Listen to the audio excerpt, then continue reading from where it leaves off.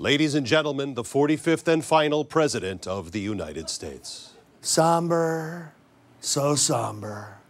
You see that? No applause. My choice, because this has been a tough week. And folks, I understand tone.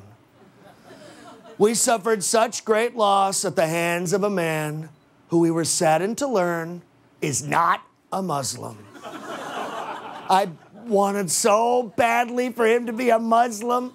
Even ISIS wanted him to be a Muslim, which is proof that sometimes it takes a tragedy to unite us.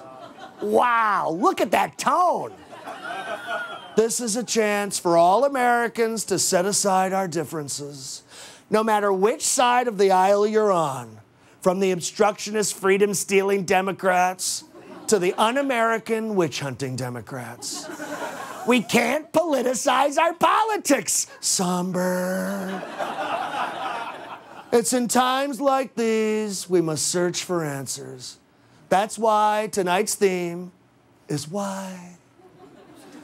I know as Americans, we're all asking ourselves the same question why did this have to happen during my presidency?